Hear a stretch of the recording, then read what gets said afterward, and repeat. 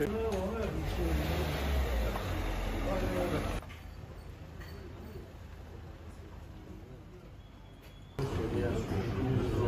Arzu bir cihazında.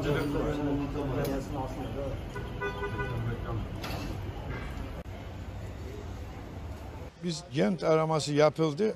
Bizim temiz çıktılar. Ee, Sağlık, yani Sağlık Bakanı bizi araştırdı etti. Gent aramamız çok temiz çıktı. Herhangi bir sıkıntı yok dediler bize.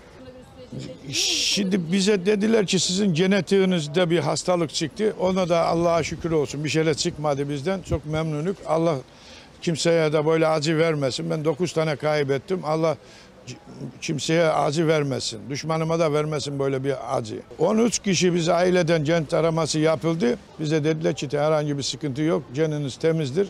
Çok endişeli günler geçirdik. Allah razı olsun. Devlet bize aşı yaptı, her şeyi etti ama giden geri gelmiyor. Allah yani elenlere rahmet eylesin.